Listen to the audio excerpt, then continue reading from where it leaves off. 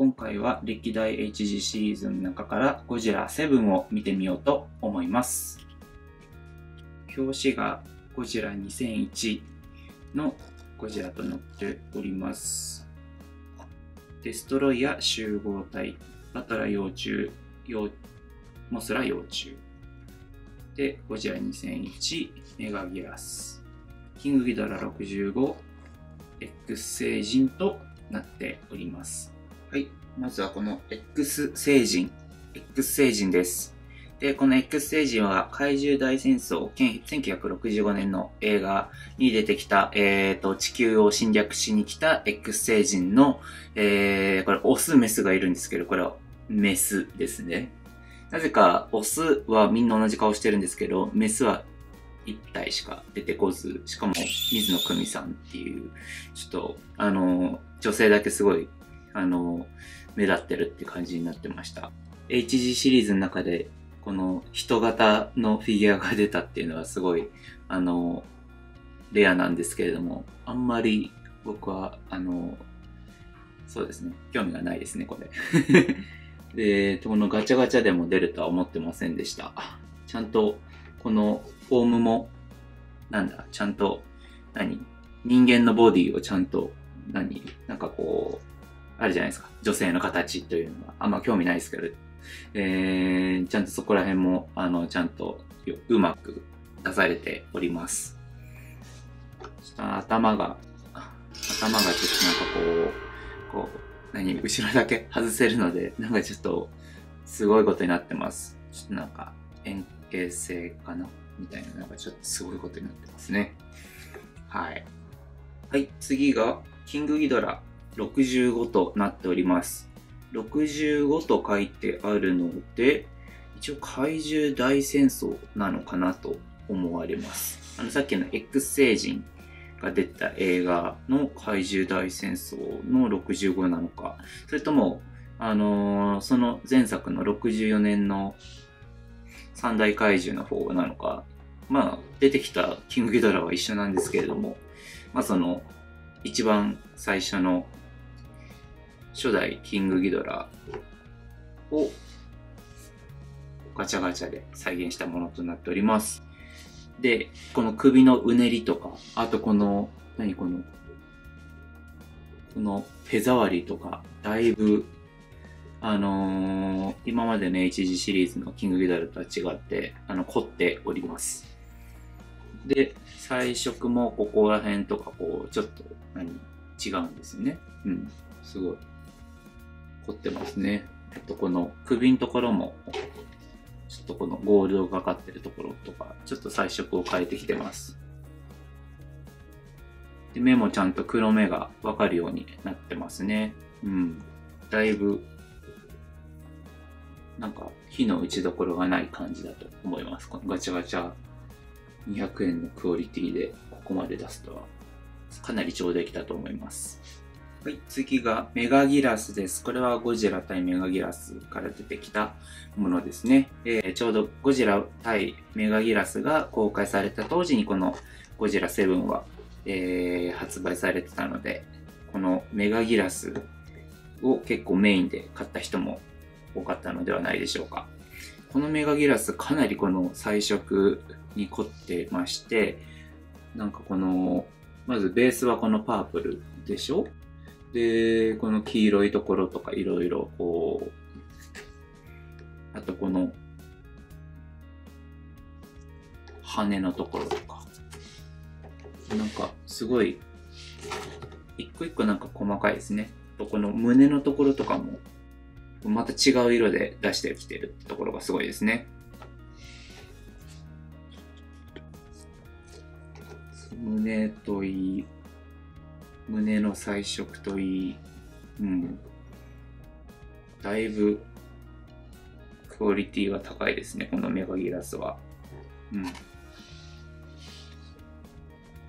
えーこちらが表紙を飾っていましたゴジラ2001となっております。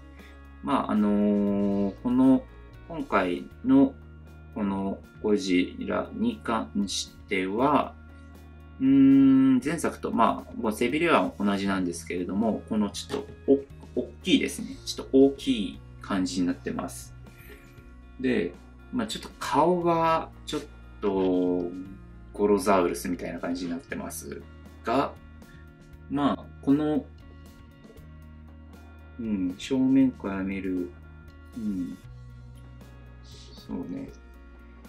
まあ個人的にはゴジラ6のミレニアムゴジラの方が好きなんですが、あれはひな形っぽい感じなんで。で、こっちがなんかちょっとできる、なんか劇中に近いような感じなんでしょうね。まあでもちょっと顔があまり好きじゃないんですよね、これ。体とか塗装とかすごいいいんですが、まあ大きさとかもいいんですが、ちょっとあんまり、うーん、自分の中であんま好きじゃないですね、これは。ちょっとここがうまくはめ込められないっていうのが、ちょっと今、この僕の持ってる、このゴジラ2001はちょっとうまく背びれがはまらないんですね。これをちゃんとお湯で、えー、温めても、こう差し込もうとしたんですけれども、ちょっとダメでした。幼虫バトラ、幼虫モスラのセットとなっております。なので、このモスラはおそらくバーサスモスラのモスラ幼虫だと想定されます。で、このバトラーのクオリティがかなり、あの高くて、すごい、すごいですね。もうなんかこの塗装の使い分けといい、この薄いのが出したり、ちょっと濃いのがあったりとか、とこのコントラスト、この赤、オレンジ、すごいですね。このオレンジのラインとかちゃんと入れてくるっていうところも凝ってますが、まあ、ここの丸々、赤い丸々がちょっと省かれてるぐらいは、あまり気にならないですよね。ああ、でもちょっと、裏側かな。裏側の作りがちょっと省かれてますが、えっ、ー、と、こちらの幼虫の方は、裏側の方は省かれてないですね。作り方。うん、フラットじゃないですね。こんな、そんな、なんか、うねってなくてもいいんですが、まあ、うねってますね、今回のは。で、まあ、裏、こんな感じですね。うん。口元だけちょっと焦げ茶っぽくなってますね。あと、顔のあたりとか。うん。で、それ以外はちょっと、同じ色なのかな。手触りがツルツルじゃないですね。なんかザラザラって感じになってます。デストロイヤー集合体ですね。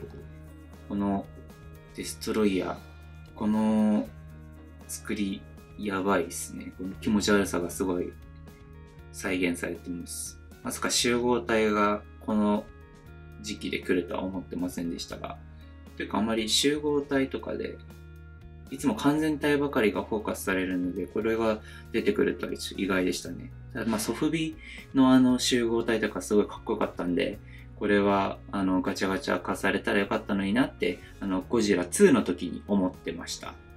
コントラスト感もすごい出てますし、後ろは後ろはまああ、まあね、いいかな。まあ、でも、それでもかなり凝ってますよね、これ。うん。上。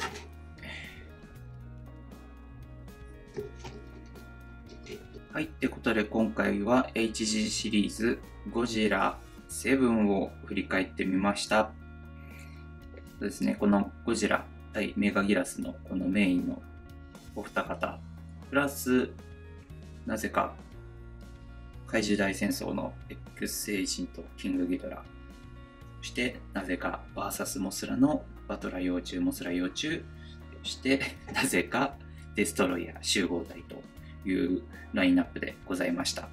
まあでもこのもランダムさがもう素晴らしいと思います。逆に。はい。以上となります。はい、ご視聴いただきありがとうございました。